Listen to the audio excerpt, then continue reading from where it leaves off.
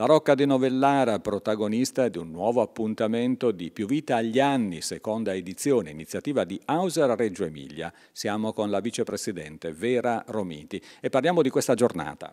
Oggi eh, siamo al quarto appuntamento del nostro percorso nella provincia di Reggio Emilia alla scoperta dei tesori e delle eccellenze paesaggistiche e culturali eh, che abbiamo. E siamo qui alla Rocca di Novellara chiamati dall'Auser di Novellara proprio per visitare questo bellissimo palazzo, eh, conoscere la sua storia, eh, le sue collezioni e le risorse di questo bellissimo paese.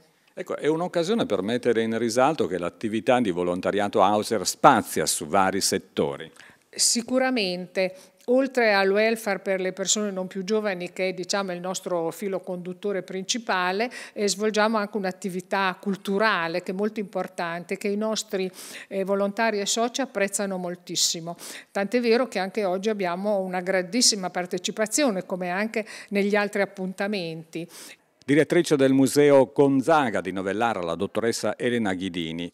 Andremo a visitare insieme al gruppo dell'Auser eh, le sale del Museo Gonzaga che sono le sale più belle, più decorativamente importanti di tutto il castello. Questo appartamento è stato costruito nella metà del Cinquecento su progetto di Lelio Orsi e all'interno eh, appunto delle stanze dove è collocato il museo abbiamo dei fregi meravigliosi di allievi di Lelio Orsi, abbiamo delle opere d'arte molto importanti, custodiamo i famosi vasi della farmacia della spezieria dei Gesuiti di Novellara eh, che sono una delle raccolte più importanti che ci sono in Europa di vasi da farmacia.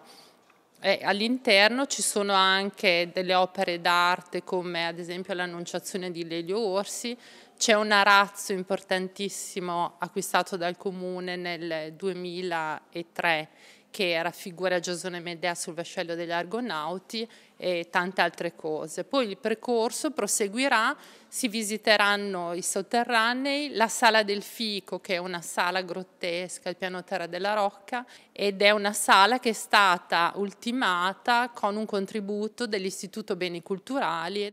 Presidente Hauser di Novellara, Enzo Tondelli, qual è la collaborazione di Hauser alle attività culturali di questo paese? Noi abbiamo dei volontari che tengono aperto questo museo dove siamo adesso, vengono la domenica a aprire perché tutte le domeniche sono aperte ed essendo anche un museo a ingresso libero aiuta a, a non far pagare il biglietto d'ingresso. Abbiamo anche sotto la mostra delle attrezzature civiltà contadina e inseriamo tutta questa attività in quella che invece è l'attività caratteristica di Hauser a Novellara. Siamo circa 140 iscritti e da 80-85 volontari attivi che tutti i giorni sono impegnati nelle varie attività che facciamo. In totale sono 19 attività diverse che facciamo a Novellara. Riteniamo molto utile conoscere anche il paese dove viviamo, le cose che abbiamo qua vicino a noi, perché tante volte siamo abituati a prendere un aereo, una nave, andare lontano lontano, quando invece abbiamo tante cose di valore ecco, qua intorno a noi.